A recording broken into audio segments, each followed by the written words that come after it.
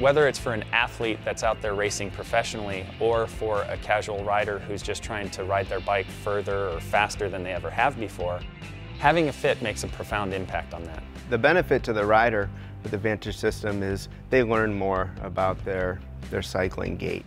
So they're able to see the data and they're actually able to feel the changes that the fitter is making. So on the Müve Fit bike, as the saddle is raised and lowered and the handlebars are moved, that rider can now feel every little millimeter. And that really helps for them to understand what's going on.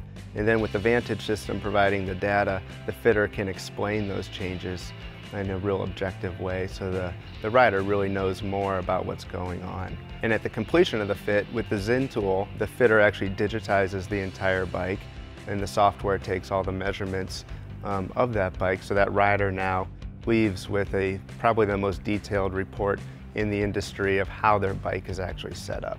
You know, the Retül fit, uh, I've done it, uh, I think it's my second or third time doing it now, and uh, yeah, it's definitely, you know, leaps and bounds above other type of fitments uh, that I have done. So I've done probably about five or six fits in my career so far.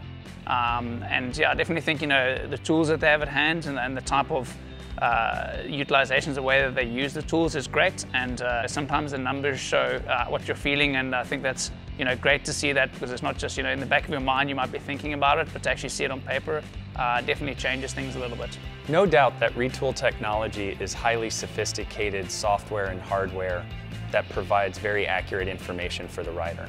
But it's for any rider, and it's a simple process for any rider to make an appointment with their local retailer, to come in, hop on their bike, pedal for a little while, and get some very useful information that can help them ride in greater comfort with less chance of injury and have a more enjoyable experience on their bike.